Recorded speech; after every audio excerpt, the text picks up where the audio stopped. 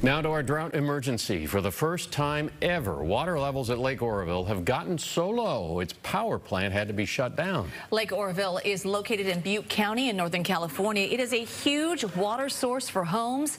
KPIX5's Wilson Walker visited the dam to see up close just how bad conditions are here at Oroville Dam, where California's drought and the state's energy struggles come together in one single place. The power plant that is buried beneath me in this dam is now offline as this lake becomes a bellwether once again.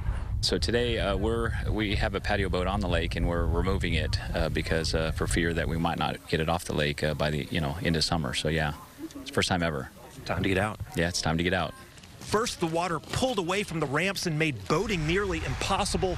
And now time has run out for the lake's power plant. The intake structure, designed to pull water at different temperatures in a full lake, has simply run out of depth to pull any water at all it's a bad event. It's the first time since that dam was built in 1965 or so that we've had to shut down that power plant. For starters, it's another drought delivered hit to the state's ability to produce hydropower.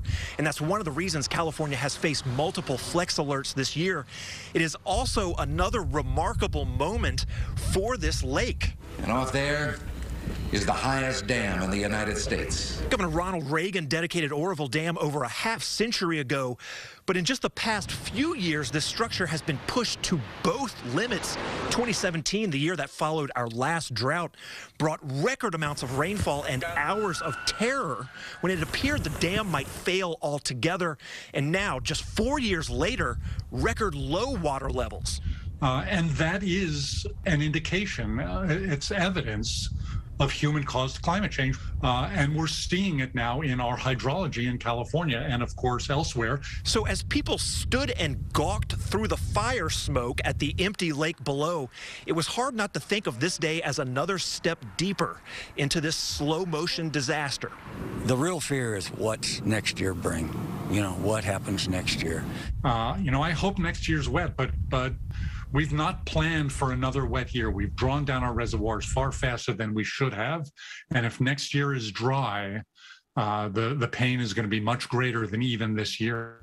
So how do we make up for the lost power? Well, we certainly need it. It's got to come from somewhere, and that probably means making more energy someplace, maybe burning some more natural gas somewhere, or buying more energy, maybe renewable energy, from somewhere outside of California.